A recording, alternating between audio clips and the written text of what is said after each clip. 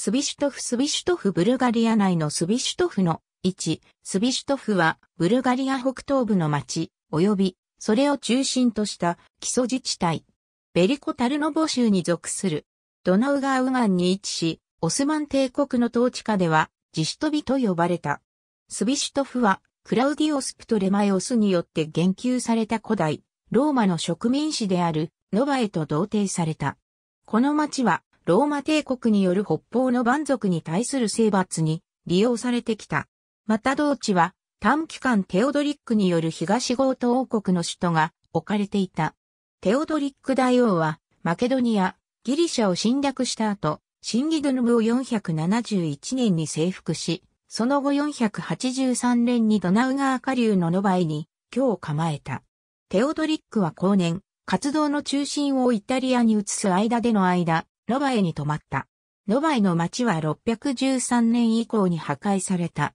これは、この土地で発掘されるコインは613年までに鋳造されたものであったことからわかる。その正確な位置は、現在のスビシュトフの町よりも西のスタクレンであったが、16世紀にオスマン帝国との戦争によって町が破壊された後に町の中心は東へ移動した。1790年に署名された和平合意が結ばれた場所はスビシュトフであり、これによってオーストリアとオスマン帝国の国境が確定された。町は1810年にロシア人によって焼き払われたが、1820年以降に再建が始まり、ドナウ川下流への蒸気機関輸送の導入によって町は映画を取り戻した。ルーマニアの町アレクサンドリアは、ロト戦争によって脱出したツビシュトフ出身者によって築かれた町である。また、スビシュトフはロト戦争によって最初に解放された町。